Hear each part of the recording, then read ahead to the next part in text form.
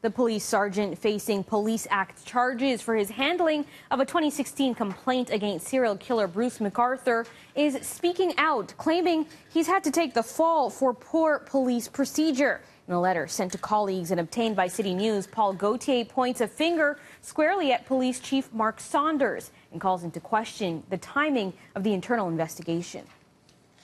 I'm confident that the evidence in this case is going to ultimately show that the uh, information gathered by Detective Gauthier contributed to the identification of um, Bruce McArthur as a serial killer, did not detract in any way from the Project Prism investigation.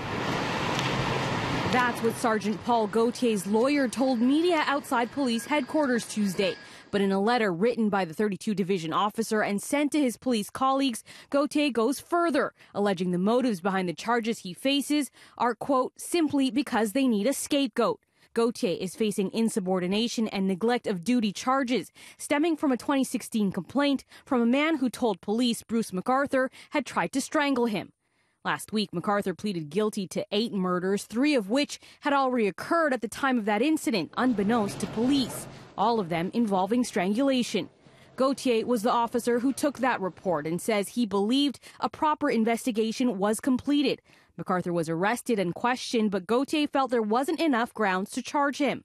But what he didn't know at that time, he says, was that McArthur had been interviewed in 2012 by police for Project Houston, the investigation into the disappearance of three men who would later be learned to be McArthur's first victims. Gauthier claims it was never flagged. In fact, he says, I had no idea there had even been a project with respect to missing men from the LGBT community downtown. All of this rings. Um uh, familiar. And, and because if you recall the Bernardo case many, many years ago, there was a complete breakdown of police services sharing information.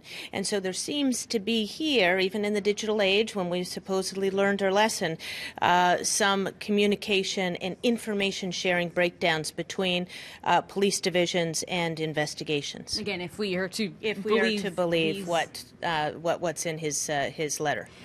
Gauthier also questions the timing of the investigation into his conduct, saying the two year old report was called into question by Detective Hank Idsinga the day after the chief of police received criticism for comments some construed as blaming police's failure to catch McArthur sooner on community members not coming forward. Suddenly, the very next day, February 28th, the chief's former partner and good buddy, Hank Idsinga, typed a letter to professional standards calling my investigation into question. The next week, there was a leak by a police source to the media with regards to this.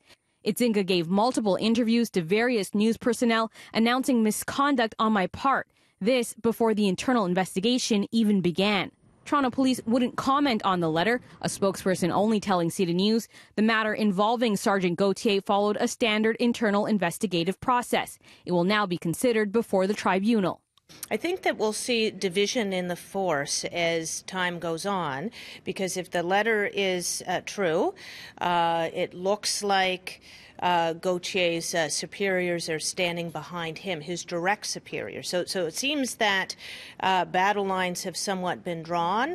It's not clear exactly who or how many people the original letter was sent to. Gauthier's lawyer telling City News in an email Gauthier maintains his innocence and is obviously frustrated with how he's been portrayed.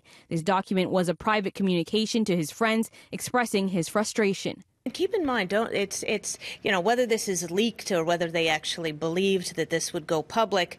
Um, the chief of police has been very public about this throughout. I mean, they're playing the media, although uh, I, I, think uh, uh, not very smartly, and, and but but certainly it is a public battle. Now, Gauthier is currently on medical leave. In the letter, he says since his suspension, he's been diagnosed with depression and PTSD. His case has been put over until later this month, and his lawyer is asking for an independent adjudicator or judge to oversee it instead of a police inspector appointed by the chief.